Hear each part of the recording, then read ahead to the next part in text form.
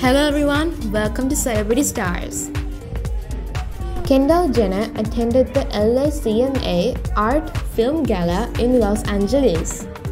She showed off her supermodel figure in a sheer black long sleeve Burc Akyol turtleneck bodysuit with a floor length metallic silver skirt draped below the waist. Kendall wore dark brown lipstick and left her hair down over her shoulders.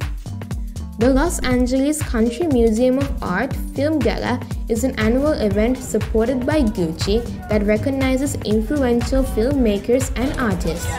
Ladies and gentlemen, the most beautiful girl in the world.